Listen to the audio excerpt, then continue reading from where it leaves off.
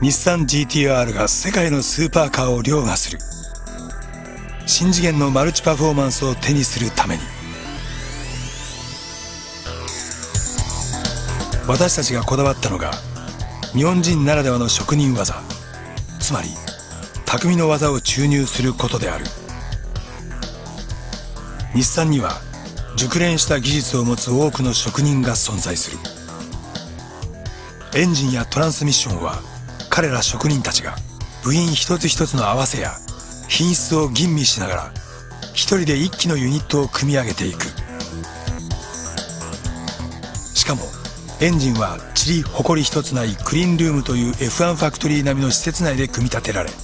全数の性能検査を行った後車両工場に送られる。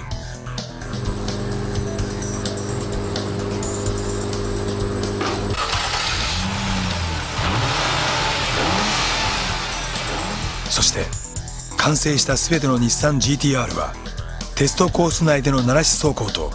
徹底した検査を済ませて送り出される。日産 GTR で味わうドライビングプレジャーは単に最先端のテクノロジーが生み出したものではない。